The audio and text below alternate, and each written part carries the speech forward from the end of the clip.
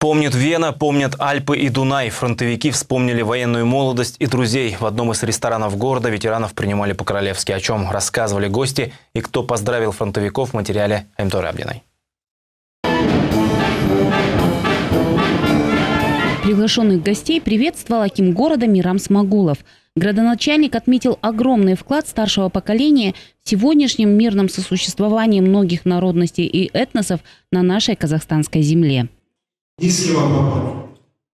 Уважаемые ветераны, поздравляю вас с праздником, желаю вам крепкого здоровья, хорошего настроения. И как вы сегодня обещали, будем петь, танцевать, веселиться. Хорошо? Как отметили в городском акимате, на прием к главе города было приглашено 100 ветеранов. Но по состоянию здоровья 25 человек не смогли принять участие в праздничном обеде.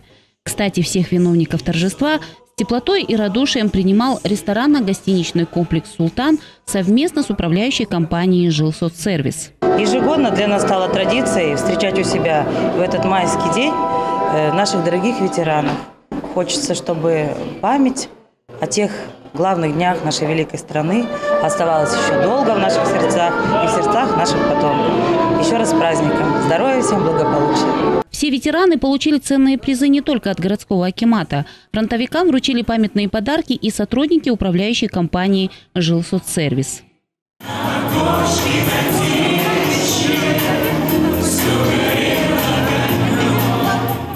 Аимтора Абдина Рустам Бараев, Бауржан Ирмагомедов, Пятый канал.